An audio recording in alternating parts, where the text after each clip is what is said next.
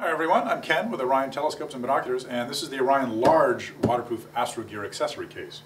It's a very durable accessory case designed to hold all of your equipment and it's made out of polypropylene and is fully dustproof and waterproof.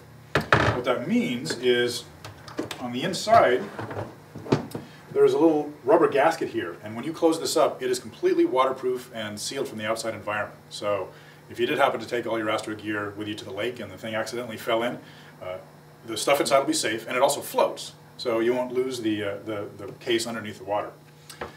There's a purge valve here on the side, and that actually comes in handy when you have a completely sealed case like this.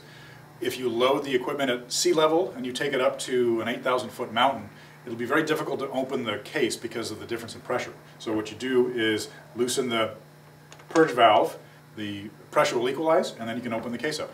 Don't forget to close it back up again when you're done, otherwise it really won't be waterproof.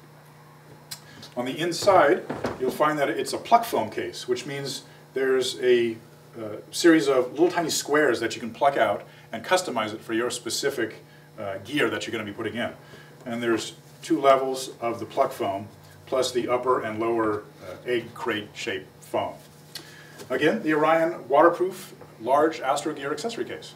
Thank you very much. Clear skies.